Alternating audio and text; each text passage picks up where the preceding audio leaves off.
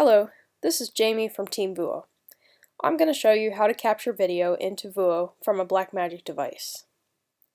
My Blackmagic device is an Intensity Shuttle for Thunderbolt. It's able to capture and playback video through HDMI and analog connections. In this tutorial, I'm going to capture video through HDMI.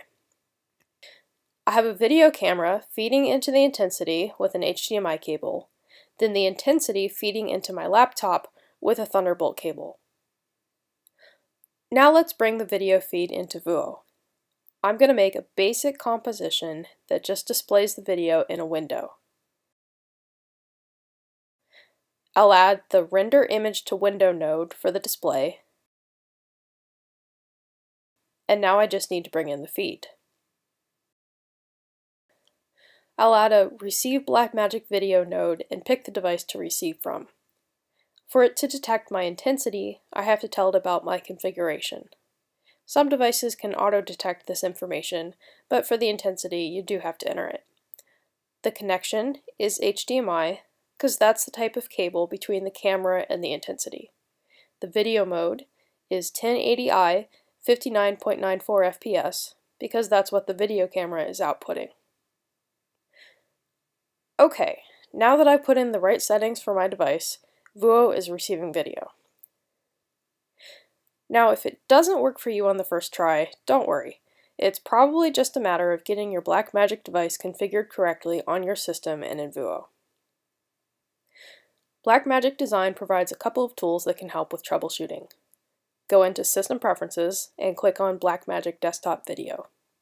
If you don't have Blackmagic Desktop Video, go download it from the Blackmagic Design website. This is important. If you don't have Blackmagic Desktop Video, your computer can't detect your Blackmagic device.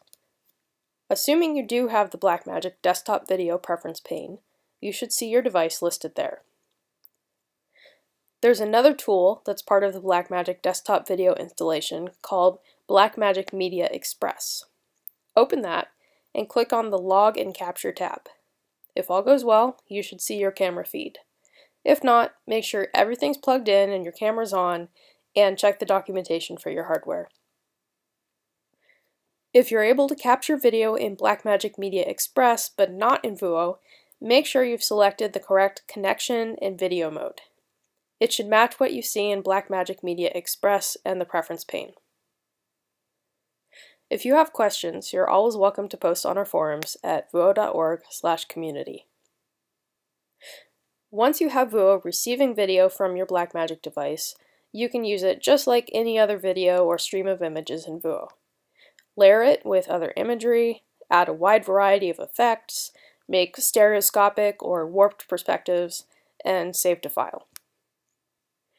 If you'd like to learn more about Vuo, check out our other tutorials on vuo.org.